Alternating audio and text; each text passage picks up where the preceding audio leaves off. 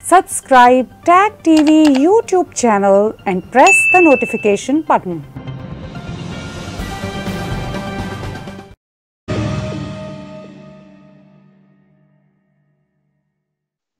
बहुत महीनों पहले मेजर गौरव आर्या जी ने मेरे ही एक शो में मुझे कहा था कि ताहिर जी, मैं आपको बता देता हूँ कि चीनी फ़ौजें वापस चली जाएँगी आज हमने ये ख़बर सुनी कि अल्टीमेटली बहुत सारे जो राउंड्स चले मीटिंग्स के दोनों तरफ़ उसके बाद चीन ने भी पीछे हटने की ना सिर्फ़ हामी भरी बल्कि हटना शुरू भी कर दिया। मेजर गौरव आर्या जी हर हफ़्ते हमारे साथ जुड़ते हैं और आज फिर हमारी खुशकिस्मती है कि हमारे साथ जुड़े हुए हैं।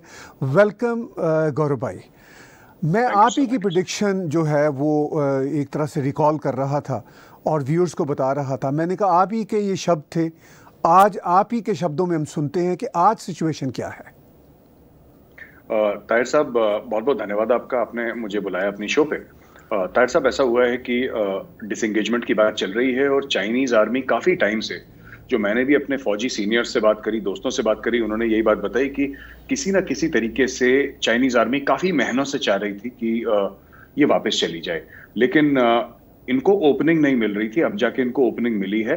सेविंग फेस वाली बात हो रही है, जहाँ तक चाइना चाहती है कि किसी तरीके से बिना बेजती के अपनी इज़्ज़त ठीक रख के, कायम रख के चाइना चुपचाप से निकल जाए। और यही चीज़ चाइना ने अब ये करी है कि प्री अप्रैल 2020 की पोजीशन जब चाइना ने फॉरवर्ड पॉस्चर लिया था, फिर हमें मजबूरन लेना पड़ा तो उस पोजीशन पे ताहिर साहब ये लोग जाने की बात कर रहे हैं। 48 घंटे के अंदर कह रहे हैं कि पूरी मूवमेंट हो जाएगी। और चाइना ने पीछे हटना उनके जो आर्मर्ड कॉलम्स थे वो पीछे मूव करना शुरू करके उनके इमेजेस भी आई थी टेलीविज़न पे। और चाइनीज़ पीछे हट गए हैं ताहिर साहब अभी और कुछ 48 घंटे के बाद वो पूरा बैकवर्ड मूवमेंट चाइना का खत्म हो। वो चाइना चाह भी रहा था इनके बस का नहीं है ये। मैं बार बार लोग कह रहा था कि लोगों से मेरे आ, कुछ आ, जो पाकिस्तान में हैं दोस्त मेरे सहाफी उनसे भी बात चली तो उन्होंने बोला नहीं साहब बड़ा तगड़ा पावर है इकोनॉमिक सुपर पावर है मिलिट्री सुपर पावर है ये है वो है।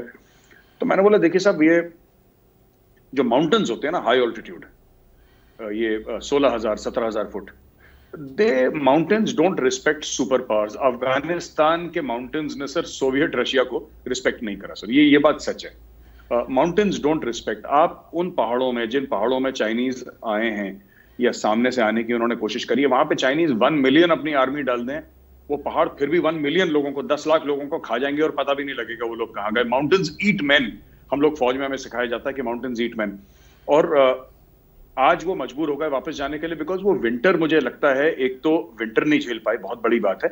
और दूसरी चीज़ है ताहिर साहब कि मुझे लगता है कि जो उनको इंडियन आर्मी से एक एक वो, एक उनके मन में एक एक जिसको कहते हैं गलत फहमी थी कि वो आएँगे साहब, थोड़ा सा आँखें वाखें अपनी दिखाएँगे, थोड़ा सा जिसको पंजाबी में कहते हैं ना डोले छोले थोड़ा सा दिखाएँगे तो फिर वो इंडियन आर्मी डर के काँप के पीछे भाग जाएगी. अब वो हुआ नहीं, कोई कांपा वापा नहीं, कोई भागा नहीं। सो चाइनीज़ वर कंफ्यूज कि भाई चाइनीज़ आ गए चाइनीज़ आ गए तो शेर आया शेर आया। तो इन्होंने बोला, शेर आया तो ठीक है, देख लेंगे जब शेर आएगा। तो अब पता लगा कि शेर बिल्ली था। शेर को ठंड लगी। Minus forty minus fifty degrees में शेर की आदत नहीं थी रहने की। Obviously the dragon was not used to these temperature ये लोग तो पीछे ये टिबेटन प्लेटू में इनके मैकेनाइज्ड फॉर्मेशन हैं। They are not used to हमारे तो जवान 1984 के बाद सियाचिन में है सब। Minus sixty, minus seventy degrees में इक्कीस हज़ार फुट की ऊंचाई में हमारे जवान लगातार पिछले तीस साल से रहते हुए आए हैं तो उनको यू नो उनका एक अलग लेवल है माउंटेन वॉरफेयर का, जो एक्लेमेटाइजेशन का एक अलग लेवल है। Chinese were not used to it तो अब चाइनीज़ वापस चले गए अब। तो देखिए, बात यह है कि क्या चाइनीज़ अपने आप को टेस्ट कर रहे थे या भारत को टेस्ट कर रहे थे या दोनों कैपेबिलिटीज़ को टेस्ट कर रहे थे? ताहिर साहब, मुझे ऐसा लगता है कि कहीं ना कहीं दो तीन जिसको पंट कहते हैं ना अंग्रेज़ी में, उन्होंने एक चाल चली। उन्होंने बोला, जुआ देखते हैं क्या होता है। उनको ये था कि हो सकता है ट्रंप वापस आए, हो सकता है ना आए। उनको लग रहा था कि ट्रंप वापस आ जाएगा। तो कुछ ना कुछ तो करना अगर ट्रंप आता है और यहाँ पे इस साइड पे तवज्जो, प्रेशर कुकर वाला प्रिंसिपल है ताहिर साहब, कि प्रेशर कुकर में प्रेशर हो जाता तो फिर सीटियाँ बचती हैं उसकी, प्रेशर कुकर की। तो वही वही, देखिए, बात ये थी कि उन्होंने सोचा कि साउथ चाइना सी में ऑलरेडी क्वाड वहाँ पे एक्टिव हो रहा था। पिछले दो तीन साल से वो बात चल रही है क्वाड की। उनकी ट्रेडिंग लाइंस है वहाँ से 50 60 परसेंट ट्रेड उनका जाता ही है वहाँ से मलाका स्ट्रेट और साउथ चाइना सी से।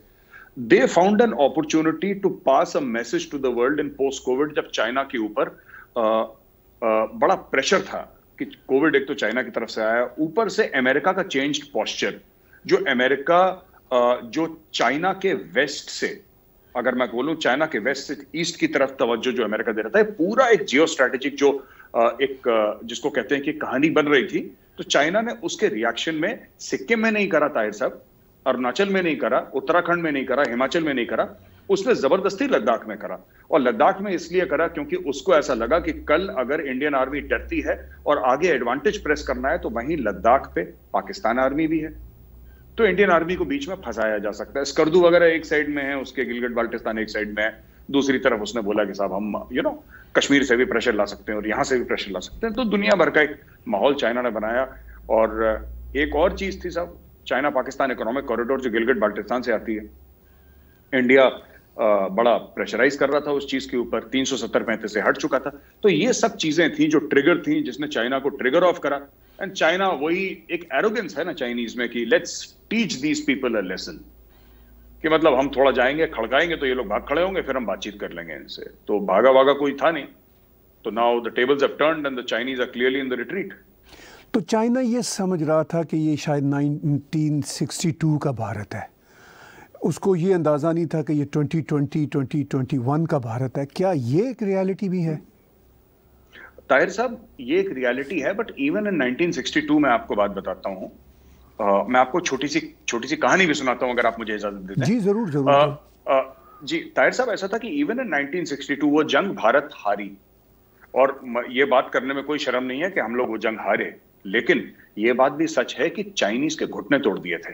चाइनीज़ को इतनी महँगी पड़ी वो जंग कि एक मेरी रेजिमेंट की एक यूनिट है तेरा Kumaon thirteenth battalion the Kumaon regiment मेरा ताल्लुक सत्रह कुमाऊं से है सेवनटींथ बटालियन वो तेरह कुमाऊं थी।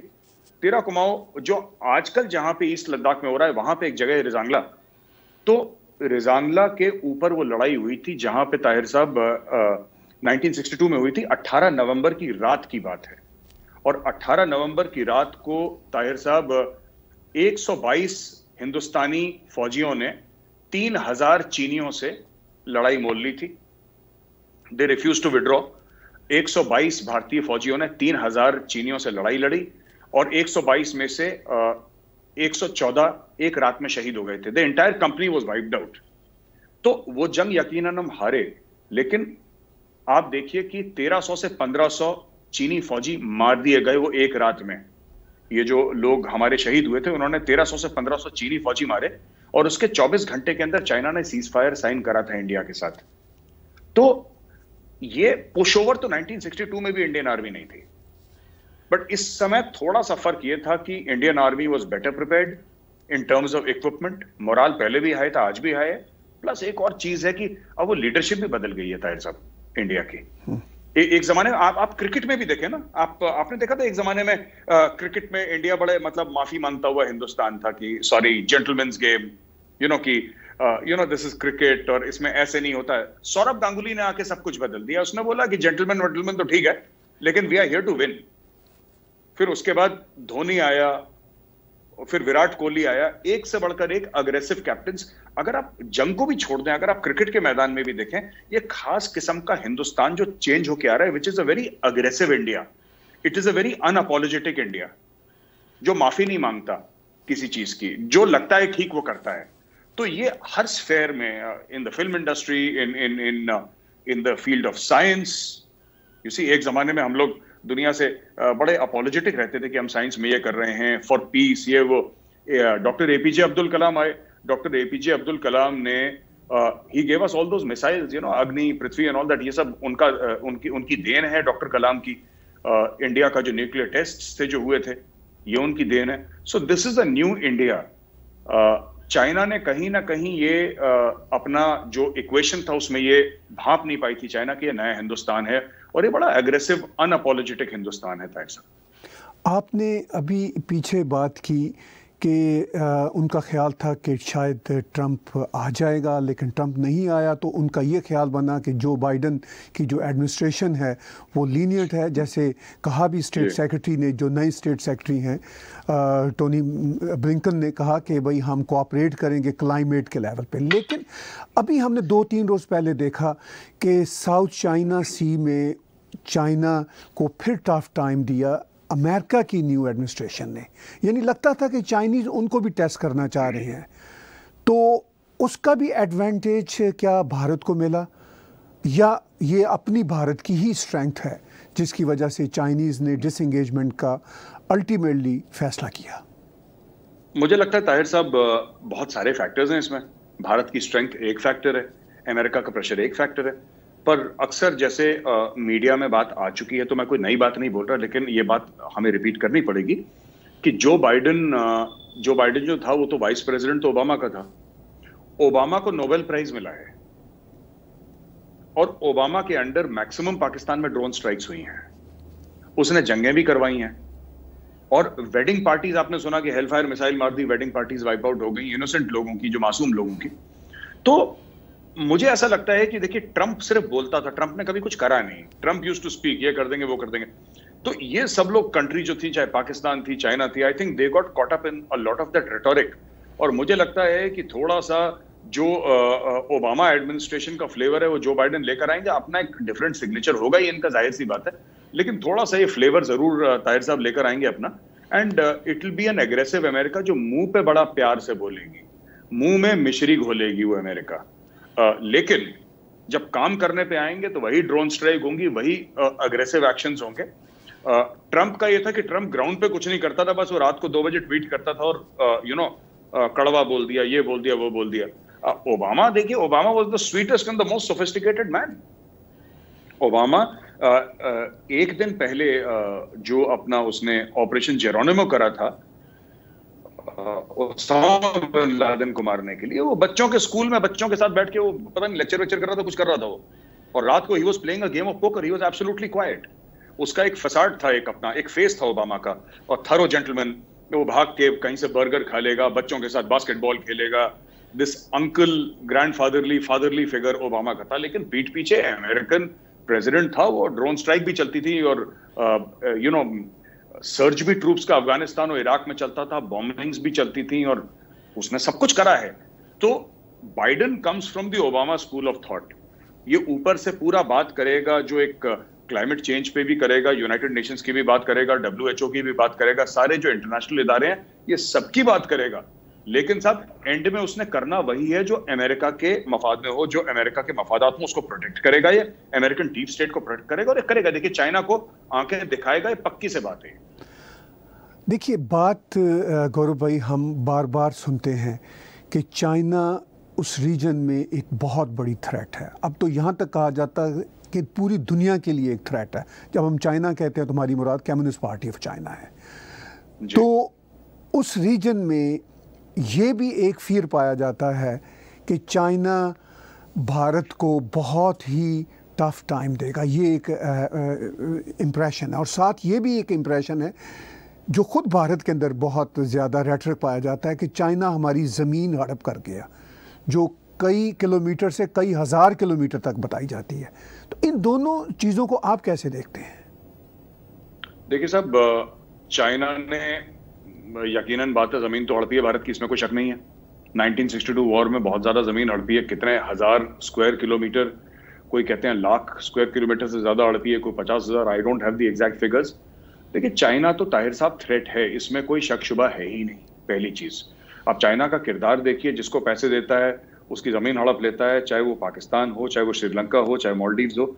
जहाँ पे चाइना गया है, किसी को खुश करके नहीं आया, लोगों की जेबें काट कर आया दूसरी चीज़, जहाँ तक भारत की बात है भारत से वो अपने आप को थ्रेटेंड फील करता है, इसलिए वो मिस एडवेंचर करता है लाइन ऑफ़ एक्चुअल कंट्रोल पे ये सब करता है कि भारत को किसी तरीके से लाइन पे लाया जाए। और मुझे लगता है कि चाइना का ना एक थोड़ा सा एग्रेसिव इंडिया को होना पड़ेगा। इंडियंस की एक माइंडसेट है, बड़ी डिफेंसिव हम लोगों की माइंडसेट है, और हमारा माइंडसेट ये कहता है ताहिर साहब कि अगर हम अच्छे हैं तो फिर दुनिया भी अच्छी होगी।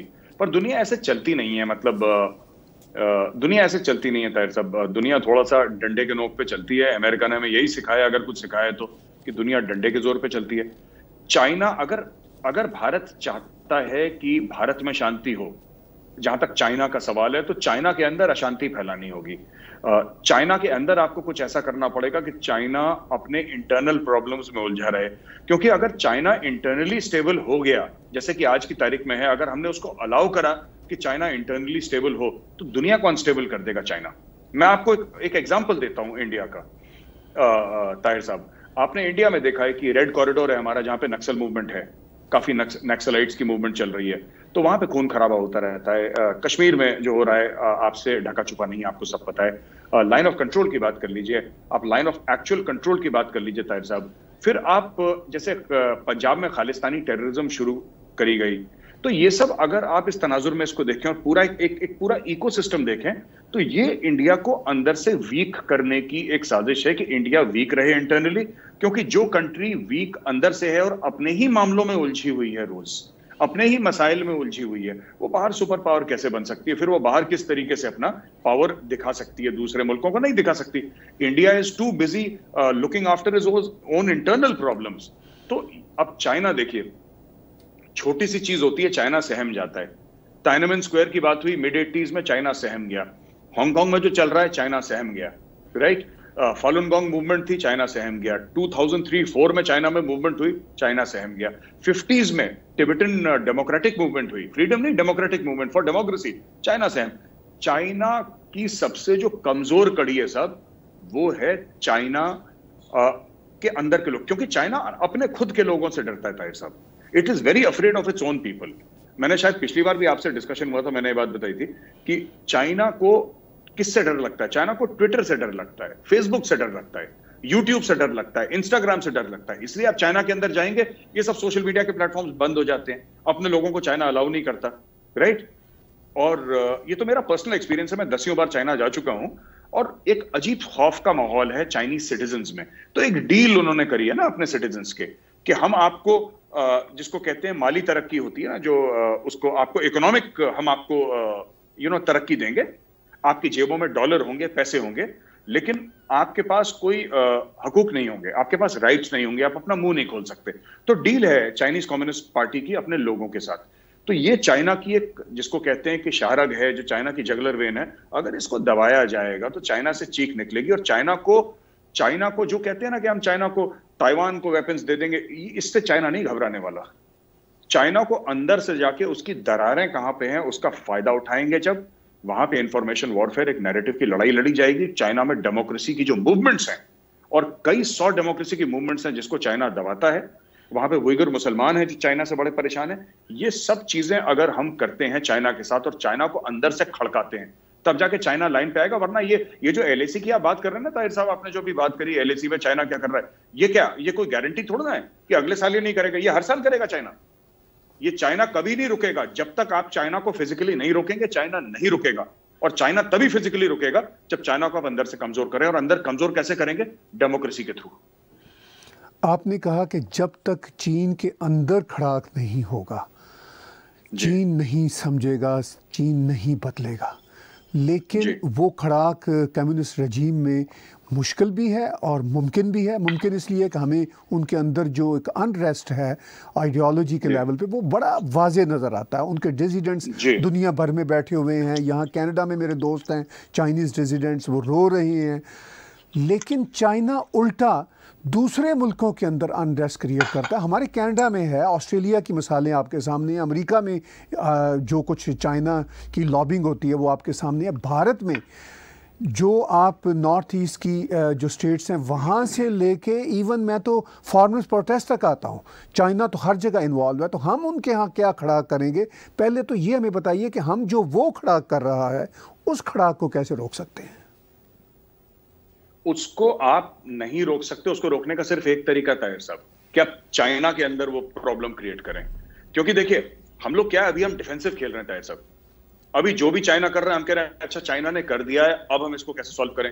फिर हमने एक चीज़ सॉल्व करी, मिजोरम में, जैसे आपने नॉर्थ ईस्ट की भी बात करी, आपने मिजोरम का सॉल्व कर दिया। मिजोरम नेशनल पार्टी थी लालटेंगा था उसका चीफ वो आप उनको मेन स्ट्रीम में लेकर आए, आपने एक सॉल्व करा, उसने मणिपुर में शुरू कर दिया। मणिपुर का स्टेबल हुआ, उसने नागालैंड में एनएससीएन खड़ा कर दिया। इधर खड़ा हुआ, उसने त्रिपुरा में। वो कुछ ना कुछ तो करता रहेगा चाइना। ये सब जो आपके नक्सल हैं, जो पूरे रेड कॉरिडोर में इनको इनको वेपन सप्लाई कहाँ से हो रहे हैं सब? इन, इनको ये ये लोग कहाँ से ये पाते हैं अपना आइडियोलॉजिकल ये सब तो माओइस्ट हैं। ये तो चाइनीज़ एजेंट्स हैं सबके सब। और कहते भी ये लोग बड़े फक्र के साथ कहते हैं कि हम चाइनीज़ कम्युनिस्ट पार्टी को अपना यू नो इस तरह लीडर मानते हैं इस मामले में। आइडियोलॉजिकल लीडरशिप वहीं से मिलती है हमको।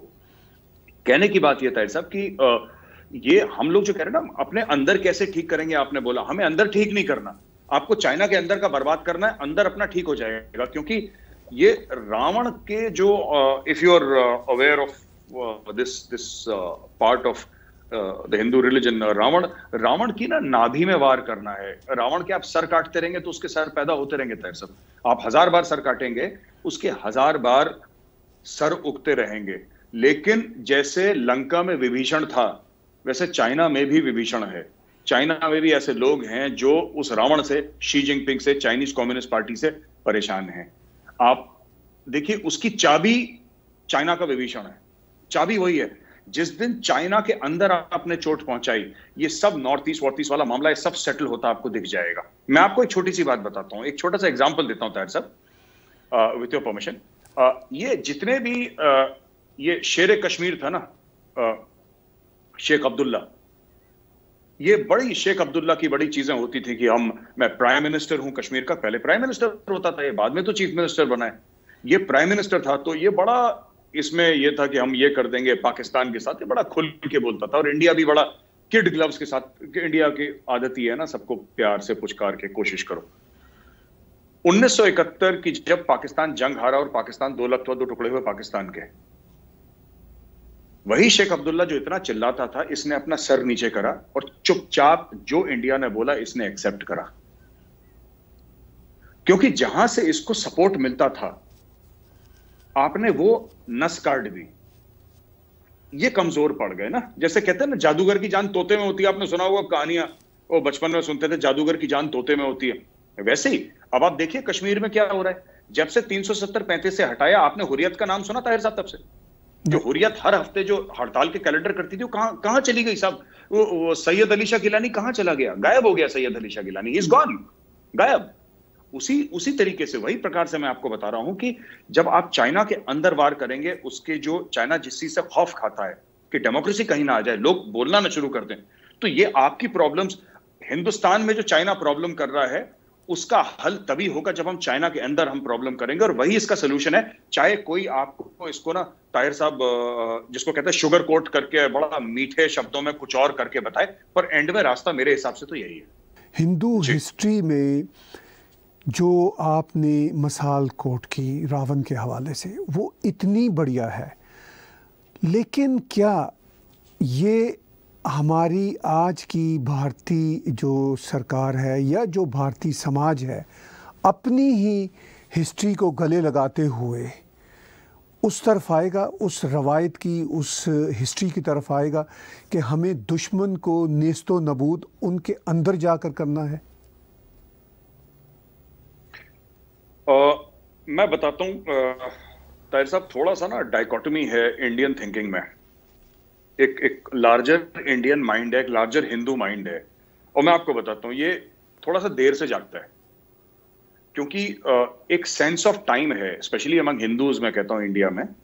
And even among other religion in India Muslims हो, कोई भी हो, उनका एक सेंस ऑफ़ टाइम है कि यू नो हो जाएगा धीरे धीरे वो हमारा एक एटीट्यूड है, हो जाएगा हो जाएगा। तो जैसे टाइम में शायद चाइना देखता है, या जिस टाइम फ्रेम में हिस्ट्री को पाकिस्तान देखता है या अमेरिका देखता है, हम लोग उस टाइम फ्रेम को नहीं देखते। तो क्या ऐसा होगा? ज़रूर होगा। उसमें समय ज़्यादा लगेगा ताहिर साहब, लेकिन किसी ना किसी दिन भारत को यह करना पड़ेगा। और भारत को जब भी कुछ करना पड़ा है ताहिर साहब, भारत ने वो करा है। देर से करा हो बेशक।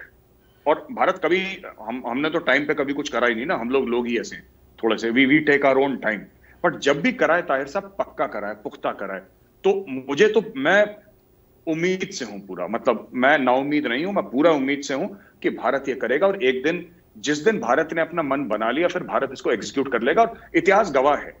ये ये वही भारत है जिसने एक्शन लिया था 1971 में। ये कर देंगे, जिस दिन इनको समझ में आ गई बात, इनको समझ देर से आती है। हम हिंदुस्तानियों को ना, हमारा थोड़ा सा बल्ब जो है, ट्यूबलाइट टाइप का थोड़ा सा देर से जलता है, लेकिन जिस दिन जलेगा जिस दिन जलेगा पूरी दुनिया में रोशनी आएगी। ये करेंगे ये लोग। ये ज़रूर करेंगे। मैं आपसे मुकम्मल सहमत हूँ कि रोशनी तो पूरी दुनिया को भारत से ही आएगी। पहले भी भारत से आया करती थी अगर हम अपनी ओल्डर सिविलाइजेशन में देखें। विजडम नॉलेज सब भारत से फूटता था। आज भी भारत में विजडम और नॉलेज भरा पड़ा है। लेकिन उसकी ऑनरशिप शायद वो खुद भारतीय नहीं लेते वो एक अलग बहस है। उस पर आप और मैं किसी दिन और बहस करेंगे। लेकिन जो रीसेंट ये जो चाइनीज़ हुई एक तरह से इंगेजमेंट अब वो डिसंगेजमेंट की बात हो रही है। आपने सही कहा कि ये engagement disengagement on and off चलती रहेगी। लेकिन जो रीसेंट इंगेजमेंट वाला मामला है पर्टिकुलरली ट्वेंटी ट्वेंटी इसके बारे में भारत के अपोजिशन लीडर्स का भी यही क्लेम है कि जी इस रीसेंट इंगेजमेंट में भी भारत की बहुत सारी ज़मीन चाइना ने हड़प कर ली। तो ये वाकई रीसेंट एंगेजमेंट में ऐसा हुआ कुछ? ऐसा बिल्कुल भी नहीं हुआ, ताहिर साहब। ये ना हर चीज़ में, देखिए, हमारे यहाँ होता है ऐसा। अनफॉर्चुनेटली ऑपोजिशन जो है वो पॉजिटिव किरदार प्ले नहीं कर रही और कहीं ना कहीं ऑपोजिशन का डेस्परेशन भी है। और डेस्परेशन इस हद तक है कि कुछ भी बोल दो। मैं आपको बताता हूँ। जब सी जब हुआ था एनआरसी के बारे में बात हुई थी तो ये भारत में चल रहे थे ना ये सब छोटे मोटे ये प्रोटेस्ट चल रहे थे। दिल्ली में तो बड़ा हुआ था शाहीन बाग का। अचानक ये खत्म हो गया। अब आप राहुल गांधी जी जो मेन कांग्रेस पार्टी के जो लीडर हैं, वो वो कहते हैं वो लीडर नहीं है, लेकिन कांग्रेस वाले कहते हैं वही लीडर है तो मान के चलते हैं कांग्रेस वाले कह रहे हैं, सही कह रहे होंगे। राहुल गांधी जी जो हर रोज फार्मर के बारे में ट्वीट करते थे कि किसानों का क्या हुआ, किसानों का क्या हुआ, उन्होंने तीन चार दिन से फार्मर के बारे में ट्वीट करा ही नहीं। वो भूल गए फार्मर को। अब मैं आपको बताता हूँ क्या होगा कि कुछ दिनों तक ये एंगेजमेंट के ऊपर सियासत चलेगी। ये डिसंगेजमेंट माफ़ कीजिएगा डिसंगेजमेंट इसके ऊपर कि ज़मीन चली गई ज़मीन चली गई ज़मीन चली गई। राइट बीच में आपको याद है वो अर्नब गोस्वामी का मामला आया था कि वो बालाकोट के बारे में अर्नब को पता था। वो वो भी कुछ बहत्तर घंटे तक चला फिर वो भी मामला ठंडा हो गया। तो ये लोग क्या करते हैं कि मामला मैन्युफैक्चर करते हैं फिर उसके पहले एक एक जमाने में बोला था, रफेल में चोरी हो गई साहब। कोई कह रहा है, तीस हज़ार करोड़ की। कोई कहता है, साठ हज़ार करोड़ की। जितने मुँह, उतनी बातें। ये बीच में कुछ ना कुछ करते रहेंगे करते रहेंगे। अपने सियासी मुद्दे, ज़मीन कुछ नहीं गई है, पर बात यह है कि पहले ज़मीन गई थी, जब कांग्रेस थी तो बहुत मतलब हद से ज़्यादा जमीनें गई हैं। चाइना के पास इन्होंने जाने दी जमीनें, और, अब जाके ये बात है कि चाइना, आप खुद, अब देखिए ना, मैं तो कह रहा हूँ कि आप गवर्नमेंट ऑफ़ इंडिया पे भरोसा मत करिए, राइट? अब मत करिए अगर आपको मोदी जी पे भरोसा नहीं है, अमित शाह पे राजनाथ सिंह जी पे भरोसा नहीं है, मत करिए। लेकिन जो चाइनीज़ खुद कह रहे हैं कि पीछे हट गए, ये लोग कह रहे हैं कि नहीं, चाइना झूठ बोल रहा है, वो और अंदर आ गया। अब आप तो कुछ फिर कह नहीं सकते ना इनको। आप क्या समझा सकते हैं ऐसे लोगों को? चाइना कह रहा है हम विड्रॉ कर रहे हैं। चाइना खुद कह रहा है कि जी हम विड्रॉ कर रहे हैं। चाइना का मिनिस्ट्री ऑफ़ एक्सटर्नल अफेयर्स कह रहा है कि हम विड्रॉ कर रहे हैं। ये कह रहे हैं, नहीं, चाइना विड्रॉ नहीं कर रहा नहीं विड्रॉ ये तो अंदर ही आ रहा है, और ज़मीन घेर ली। चाइना कह रहा है, यार, तुम लोग हम प्रॉब्लम सॉल्व कर रहे हैं, तुम प्रॉब्लम और बढ़ा रहे हैं क्या क्या तो यही इनकी बात ये कभी नहीं सुधरने वाले, ये लोग ऐसी हैं नेगेटिव लोग हैं। ये नेगेटिव लोग हैं और भारत की डेमोक्रेसी बहुत ही वाइब्रेंट है, इसमें कोई शक वाली बात नहीं। मैं गौरव भाई आपको बताऊँ, हम कनाडा और अमेरिका में रहते हुए मुझे अब ये मानना पड़ेगा कि हम वो फ्रीडम देखते हैं। यानी अब वो हम फ्रीडम को जिस तरह कहते हैं ना हसद से देखते हैं, रश्क से देखते हैं कि भारत में खुल के बात हो सकती है, जर्नलिस्ट खुल के बात कर सकते हैं। यहाँ पे आप थोड़ी सी बात करें, एक लॉ सूट आता है, कहीं ना कहीं से उड़ता हुआ, और वो हज़ारों, लाखों डॉलर उस पर लग जाते हैं और बात ही नहीं कर सकते आप। खैर, ये भी अपनी जगह पे एक इंपॉर्टेंट बात है, लेकिन आपको चाइना और अमेरिका का जो माफ़ कीजिए, चाइना और भारत का जो आगे आने वाले समय में रिलेशनशिप कैसा नज़र आता है? इसी तरह की इंगेजमेंट डिसंगेजमेंट ही चलती रहेंगी। या जिस तरह मोदी जी ने कोशिश की थी कि भाई ये बैठ के ट्रेड भी हो, कुछ हम हमसाए हैं, हम एक दूसरे को बदल नहीं सकते, कुछ हम एक दूसरे को समझें, बड़ी पॉपुलेशन के कंट्रीज़ हैं, मिल के चलें, लेकिन वो तो लगता है फेल हो गई। इस कॉन्टेक्स्ट में कैसा लगता है आपको कि ये रिलेशनशिप कैसा चलेगा दो बड़े हमसायों का? मुझे लगता है कि और ख़राब होने वाला है ताहिर साहब, पहली चीज़। जहाँ तक इंडियन आर्मी की बात है मैंने कई सीनियर ऑफिसर से बात करी है सर्विंग जनरल से बात करी है। और प्राइवेटली उन जनरल्स ने तो मुझे यही बोला है कि चाइना ने करार तोड़ दिया चाइना ने भरोसा तोड़ दिया। उन्होंने बोला था कि एक चाइना बड़ा मुल्क है, हम बड़ी इज़्ज़त करते हैं। ये जनरल्स ने बोला serving generals of the Indian army कि we have a lot of respect for China as a country but ये बात भी सच है कि चाइना ने करार तोड़ा है चाइना ने भरोसा तोड़ा है हमारा। And we will never trust China again we will not trust China again हम लोग we will always be on our guard not that we were not on our guard earlier ऐसी बात नहीं है लेकिन पहले हम कहते थे कि ठीक है दोस्त है जिसके साथ हमारे कुछ इख्तलाफात हैं हमारे कुछ डिफरेंसेस हैं ओपिनियन के। लेकिन अब हम ये समझेंगे कि नहीं China cannot be trusted and China covets our territory China चाहता है कि हमारी ज़मीन हथियाए। हम उस सेंस में चाइना को देखेंगे और आ, आ, मुझे नहीं लगता कि हम आ, जब तक चाइना ताहिर साहब या तो चाइना कुछ कमाल कर दे और चाइना कुछ ऐसे स्टेप्स ले जिससे भारत कन्विंस हो जाए आयरन क्लैड गारंटीज कुछ हो जाए in front of world forum तब तक तो मुझे नहीं लगता कि रिलेशनशिप दोबारा जाएगी और रिपेयर हो पाएगी जब तक ये नहीं है, क्योंकि अभी अभी मुझे कोई आसार नहीं दिखते। मेरे एक बहुत अच्छे दोस्त हैं भारतीय ओरिजिन के जो अमेरिका में साइंटिस्ट हैं, मेरे बड़े भाइयों की तरह हैं, जो चाइना को बहुत अच्छी तरह जानते हैं।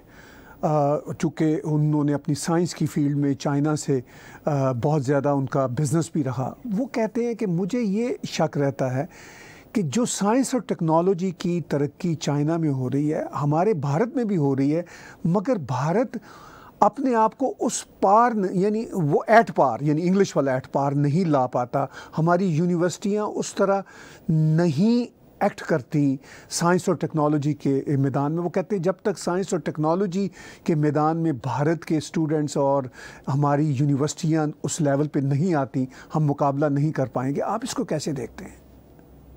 ताहिर साहब जो आपके फ्रेंड हैं यूएस में, उनका ऑब्जर्वेशन 100 परसेंट करेक्ट है, पहली बात। उनका ऑब्जर्वेशन बिल्कुल भी गलत नहीं है हंड्रेड परसेंट करेक्ट दूसरी चीज़ है कि ये भी करेक्ट है कि गवर्नमेंट ऑफ़ इंडिया को ये रियलाइजेशन है कि अगर हमें कंपीट करना है तो we have to be faster and we have to put in more money in research and development और ये काम ऑलरेडी गवर्नमेंट के इनिशिएटिव से शुरू हो चुका है खास तौर से आर्टिफिशियल uh, इंटेलिजेंस की फ़ील्ड में। खास तौर से 5G की हम इस तीन चार महीने के अंदर इंडिया में 5G लॉन्च हो रहा है राइट और भी कई सारी चीज़ें मेक इन इंडिया के जो इनिशिएटिव्स हैं। तो ऐसी बात नहीं है। हाँ हम चाइना से हो सकता है कि साइंटिफिक साइंटिफिक आउटपुट में कम है लेकिन हमें इस चीज़ का एहसास है पहली चीज़। तो हम ये नहीं कहते कि नहीं साहब इसकी साजिश है और ये हम ये सब नहीं। हम चाइना के पीछे हैं हैं सही बात है लेकिन हाँ हमें पता है हमारा टारगेट क्या है और हम टारगेट के पीछे लग चुके हैं। तो ताहिर साहब I can assure you that there is a great deal of understanding एक तो आ, हमारी जो आई हैं we produce the most brilliant engineers in the world and ये आईआईटी के ही बच्चे हैं जो आगे जाके ट्विटर ट्विटर फेसबुक चला रहे हैं जो कौन कौन सी कंपनी से तो नाम भी नहीं जानता इनका। ये हमारे आई के ही बच्चे हैं जो जाके वहाँ पे कमाल कर रहे हैं who make our country so proud and not just I I even Manipal university और भी हमारे काफ़ी इंजीनियरिंग के जो हैं, उसमें कमाल का काम कर रहे हैं। तो उनके साथ प्राइवेट इंडस्ट्री पार्टनर कर रही है। उनके साथ काफ़ी लोग पार्टनर कर रहे हैं and now that wheel has started moving in India and it is moving faster and faster मैं आपको छोटा सा एक एग्जांपल देता हूँ। इसके पहले की कोरोना कोरोना जो वायरस आया था इंडिया में तो ताहिर साहब हम तो जो किट्स थे कोरोना के, वो तो नहीं बनाते थे। शायद हम सैनिटाइजर भी, बेकार सा ही कोई बनाते होंगे। तो इंडिया इसमें, क्योंकि it was always cheaper to import from China तो चाइना से इंपोर्ट करा, पैसे दिए चाइना से कंटेनर भर के आया। आप समझ लीजिए कि with in let us say within a span of four to six months India has become a leading of not only corona virus kits जो पीपी किट्स थे वो। और भी इक्विपमेंट वैक्सीन तो अच्छा ये सब चीज़ें तो ऑलरेडी इंडिया में थी. आ, इंडिया का मैं आपको बताता हूँ मैं इंडियन आपने हिस्ट्री हिंदू हिस्ट्री के बारे में आपने बात करा. तो जैसे हनुमान जी है ना हनुमान जी तो India is like Hanuman ji ना. हनुमान जी को बताना पड़ता था. हनुमान जी को बोलना पड़ता था कि हे हनुमान जी आप इतने बलवान हैं आप पहाड़ उठा सकते हैं. तब हनुमान जी को ध्यान आता था हम हाँ, बलवानू पहाड़ उठाते थे. तो इंडिया इज़ लाइक दैट अभी कोरोना वायरस ने इंडिया को बताया है कि यू नो आप वैक्सीन बना सकते हो। उन्होंने ऐसी वैक्सीन बनाई कि 80 देशों को भेज रहे हैं। अगर कोरोना नहीं आता तो ये फिर वैक्सीन की तो खैर बात थी नहीं, लेकिन उस तरीके की चीज़ें नहीं होती। तो जब इंडिया को करना होता है इंडिया ने टाइम एंड अगेन प्रूव करा है।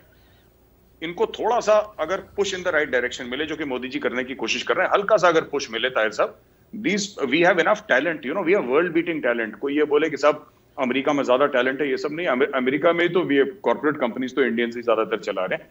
सो so, इनका थोड़ा सा ये है कि you know just push them in the right direction अब कोरोना का केस इन पॉइंट डब्ल्यूएचओ वाले और जितने भी लोग हैं दुनिया के कैनेडा में जस्टिन uh, ट्रूडू जो है उसका कल बयान आया था कि you know about the vaccine and all that कल उसका भी बयान आया था कि you know you are this thing that आप प्लीज़ हमें सो uh, so ये ये कुछ भी कर सकते हैं। ये इसरो ऐसा इदारा है which is sending hundred satellites into space तो अच्छा हिंदुस्तान ना बड़ी ताहिर साहब बड़ी आप अगली बार इंडिया आए तो please give me the honour and the opportunity of hosting you आप आए प्लीज़ तो आल और सर मैं आपको मैं नहीं मैं आपको दिखाना चाहूँगा कुछ चीज़ें और आपको इतनी आ, मतलब you will find it so interesting this country is so fascinating कि आईआईटी दिल्ली है।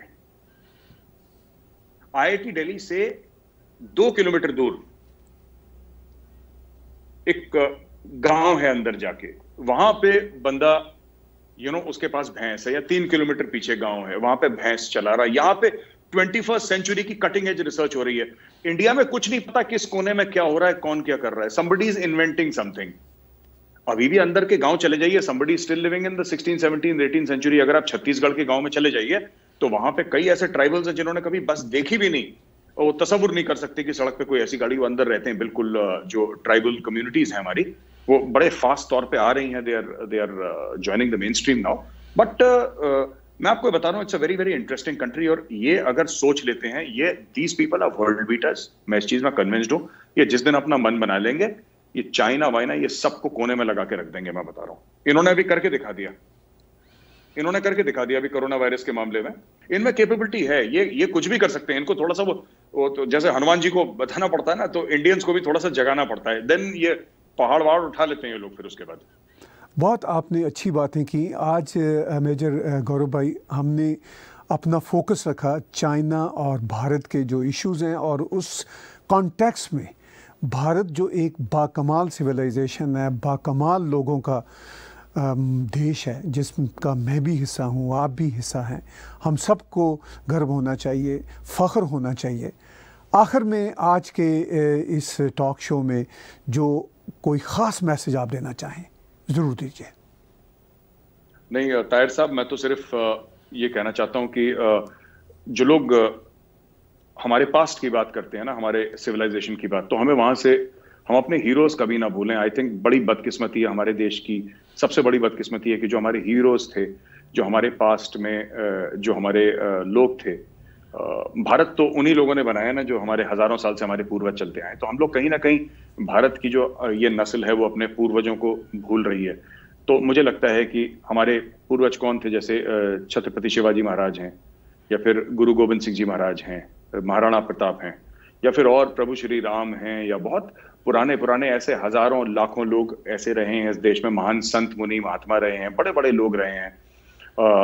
तो अगर हम उनको भी याद करें क्योंकि you know they are they are the soul of Bharat ये लोग ये लोग ना ये लोग हमारे जिसको कहते हैं कि जो भारत का जो डीएनए है these people are the DNA of India तो अगर हम इनकी थोड़ा सा मार्गदर्शन इनसे लें और थोड़ा सा इनसे रहनुमाई लें तो we can again become a great power because they have us uh, the power of humanity.